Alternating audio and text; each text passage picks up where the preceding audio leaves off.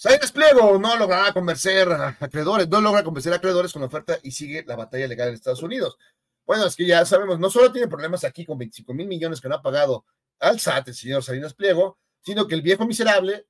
en Estados Unidos tiene un montón de deudores que quieren ya cobrar y él se está haciendo pato y en vez de pagar, se esconde, se esconde. En una de esas termina, va a perder el caso y por supuesto se va a quedar sin la lana y luego acaba de tener que pagar, se va a quedar con tres varos y es muy probable que tenga que vender